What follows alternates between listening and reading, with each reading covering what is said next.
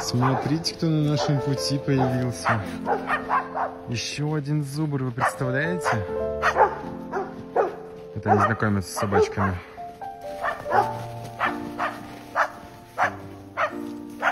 Офигеть.